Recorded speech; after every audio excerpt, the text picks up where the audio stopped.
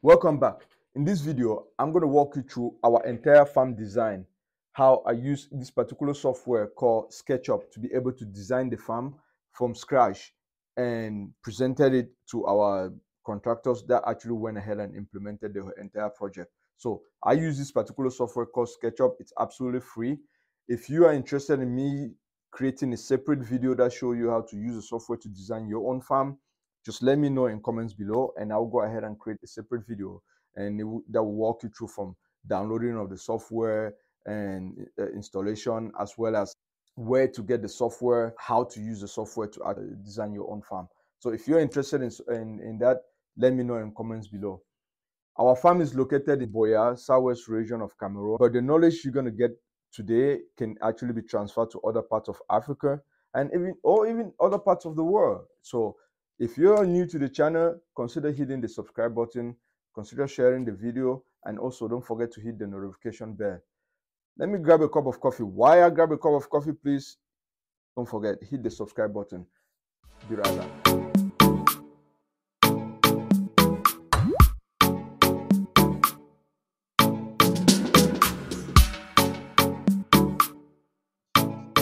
so far, as you can see, once you're coming in, this is the entrance into our farm. Um, coming this way, you have a little parking over here for cars that are coming to delivering stuff, um, cars that are com coming to drop things or pick up stuff, pick up the chicken or pick up the eggs. Or so this is going to be a little parking over here.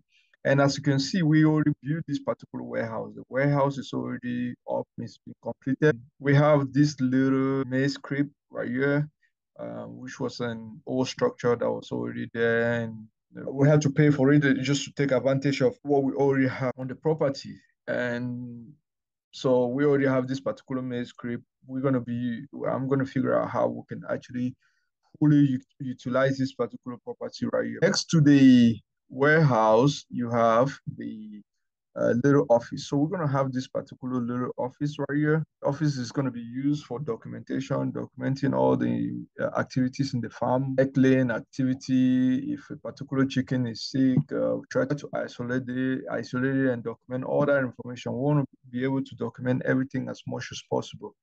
Right next to it, you will see a little generator uh, house the reason why I'm putting it very far away, the reason why the generator house right there is extremely far away because you don't want much noise disturbing the birds because these birds are very sensitive. Noise noise actually affect the amount of eggs that the birds can actually lay. So you don't want that noise to go actually affect them. From time to time, you have power in and out.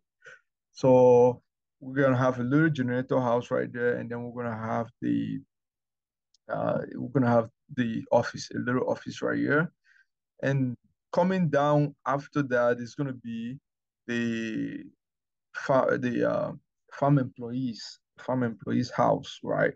So we're gonna have a, a little slaughterhouse right here, where you we're gonna be able to like chickens that let's say for example all the broilers that we have that has not been released uh, into the market that that people were not able to buy that were not able to sell in time this is where we'll do the slaughtering. We'll slaughter everything put them in deep freezers. We're probably going to have those deep freezers in our warehouse right here uh, set them up in deep freezers and then uh, when people place the command in the store we can now transport them to the store for whoever is um, whoever is interested in picking them up. No customers will be allowed inside i mean sometimes we can allow some customers that are like uh, purchasing in extremely large quantity, bring them in, but they will never cross this particular uh, area to get into the chicken area. All they will end up is right here in the office and the warehouse, pretty much. That's it.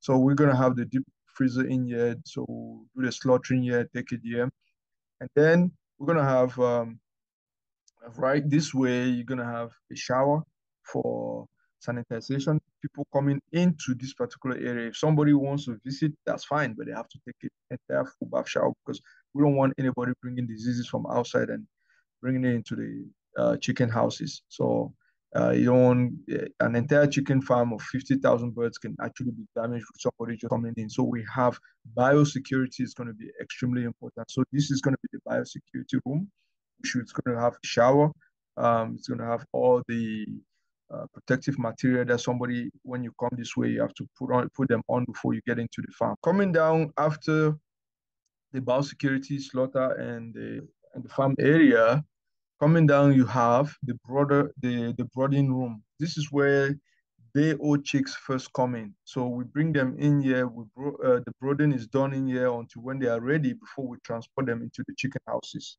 So this is pretty much the brooding room. And right next to it, um, coming down, I mean, not closely next because they have to be a little separated. They have to be separated, obviously, is the hospitality room. This is where all the sick chicken will be brought in. We'll have to isolate the sick chicken, bring them into the hospitality room right here until they are completely healed before we bring them to, back into the stock. We do not want to go ahead and bring uh, and mix the, the, sick ones with, with the with the uh, healthy ones because if you go ahead and do that again, of course, you will go ahead and damage your entire stock. And we're gonna have three different chicken houses. Um, one, two, three. Each is gonna be at least 12 feet, uh, 12, uh, sorry, 12 meters by uh, 20 meters. So it's going to be at least 12 meters by 20 meters, three of them. Um, should, uh, each of them should be able to take a capacity of about 6,000 birds. So each of these will have about 6,000 birds per, per, per unit.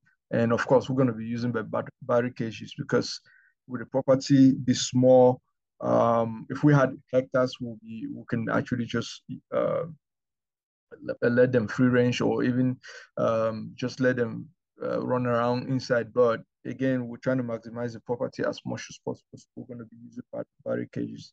And last part is pretty much a gate.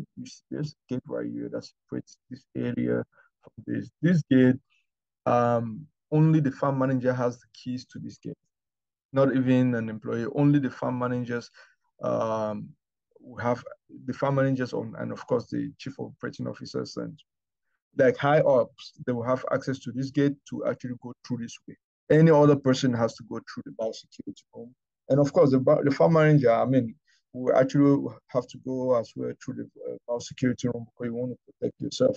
But the reason why we have this gate over here is if we're actually exporting some things, bringing things in or taking things out that we don't need to go through the uh, actually uh, just taking things out.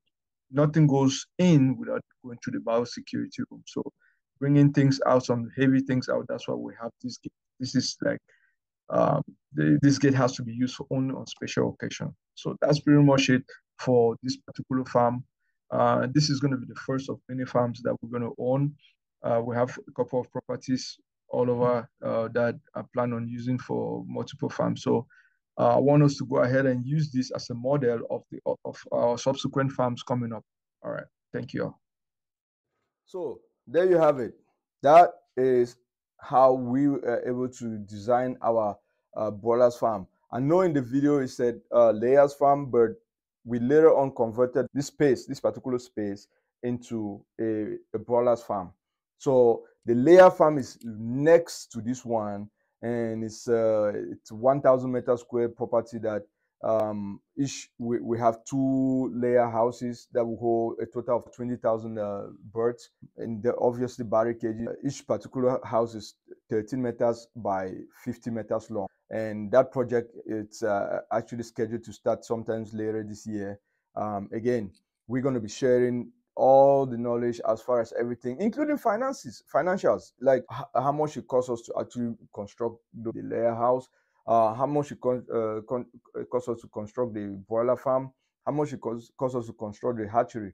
We're going to be sharing all that. So if you don't want to miss any of those videos, uh, please consider hitting the subscribe button and share the videos. Don't forget to hit the notification bell as well.